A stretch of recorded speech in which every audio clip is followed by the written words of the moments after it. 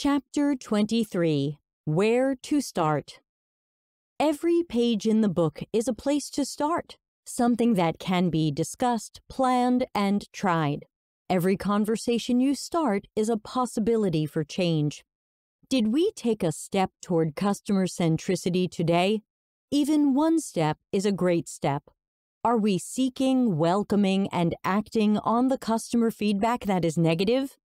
Some comments and suggestions can be hard to hear, but we will be stronger and grow more when we take these seriously and follow through on five star solutions. Customer centricity isn't about empathy, delight, and maps claiming to diagram what users feel. Customers will be delighted if we understand their tasks and needs and build what improves and solves those. Delight is the side effect, not the goal. Try it. Have you ever never needed support?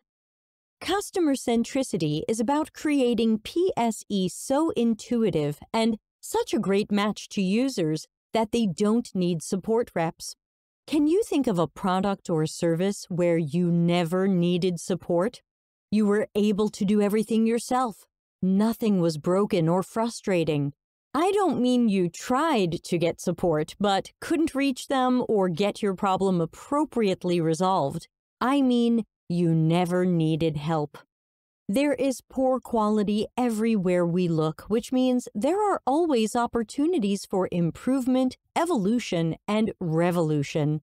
It's never good enough for customers. Target audiences don't care what businesses want or need. They don't care about your goals or initiatives. But that can't be a two way street. Businesses must care about what target audiences want or need. Without this, you might not have customers. You're leaving money on the table when you treat customers like pawns to push around. You can't give them minimum viable crumbs and assume they will join, stay, be satisfied, or be loyal. Go beyond care and claiming we have empathy for customers. Do we have the necessary information and evidence to make better decisions? If so, we have no excuses for not making better and more customer centric decisions. If not, we must start focusing on our customers and the high quality PSE we will need to create to win and keep them. Are we taking customer centric or customer peripheric actions? Are we knowingly releasing a guess or broken PSE? Go beyond building something because an executive or stakeholder requested it. We don't have to be order takers. We can ask a stakeholder why they want the feature, but where is the customer in this conversation? We want to make stakeholders happy, but the consequences of unhappy customers are far worse than a grumpy stakeholder that didn't get their way. Be customer centric and value led ensuring that we always deliver high customer value. If you don't want to be a feature factory, stop working from features first and an exec had an idea first. Where are our problem statements? Are we guessing what customers need? Did we research them well or just survey them to see what we could sell them? Resistance to change. It can be hard to create change when our company got this far doing what it has been doing. Why should we be different or better when we can say this is working for us? We're making money, our stock price is going up, and our HR survey says that 74% of staff are at least somewhat happy here. We must push past complacency and it's good enough our PSE aren't good enough. Our work environment isn't good enough. Talk about the projects everybody sweeps under the rug, the disasters and embarrassments.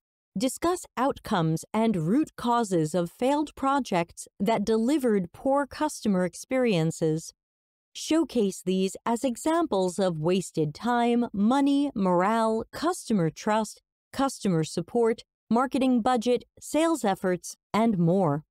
Highlight these as what happens when we aren't customer centric. Once you have successes from more customer centric projects, showcase these for contrast and as positive case studies. Try it. Hindsight. Think about previous disaster projects at your company. Where in the process were mistakes or poor decisions? Were we wrong about what we thought customers would like? Did we make multiple mistakes along our project's journey? Now that we see that disaster more clearly, talk about it more openly, learn from it, figure out how something like that can never happen again. Be who we claim to be. If we claim to be agile in any form, then we believe in continuously improving our ways of working. We believe in self assessment and learning how we need to improve our processes and our PSE. We change what needs to be changed once we understand our own problems. We don't avoid that understanding. We dive in knowing it'll hurt a bit before it improves. If we claim to be innovative, then we can correctly diagnose our own problems and invent solutions. We should never say, we can't do that, or but this is how it's always been done. The innovative mindset says, let's figure out how we can do that, even if solutions come in phases and evolve over time. We have company values, but we don't live by them. We put them on posters, shirts, and presentation slides. We don't deal with toxic or abusive staff or leaders who behave opposite to our values. Take your culture problems seriously. When results come in from internal surveys, don't just hope that our scores look better next quarter. Investigate and act. Create policies around accountability so that problem causing staff are motivated to be better. Empower individuals and teams to be problem finders and problem solvers, not just order takers. These are experts and specialists that you hand selected from hundreds of applicants. Trust them. Treat them like you trust them. Support critical thinking and tough questions. Challenge the status quo. Experiment with new ideas and ways of doing things. Learn from our failures, but preferably move more of those failures out of the public eye. Catch more of our failures during user-centered design processes to reduce the risk and waste of releasing guesses. Customer centricity reminds us that the best practices for PSE design and creation aren't hard rules that, if followed, automatically produce PSE market fit and customer satisfaction. The best practice is research. Research first, research often, and find solid data and evidence that inform careful decisions. Continuously pursue customer intelligence and use it in all areas strategies, goals, initiatives, PSE, and decisions. Most companies we admire invest heavily in generative research to understand target audiences' behaviors, needs, tasks, and perspectives. We can do that too as soon as we stop telling ourselves that research isn't worth our time or budget.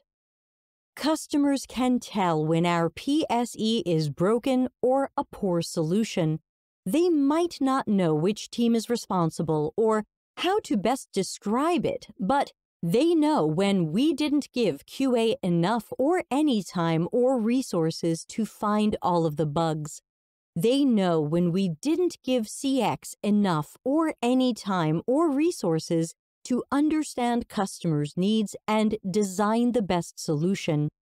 They know when we rushed it out, half tried, and thought it was good enough. Customers know you suck, but the solution isn't to try to trick them into thinking that we're good enough. Customer centricity is about putting customers of all types at the center of our business strategies, goals, initiatives, PSE, and decisions so that we don't suck.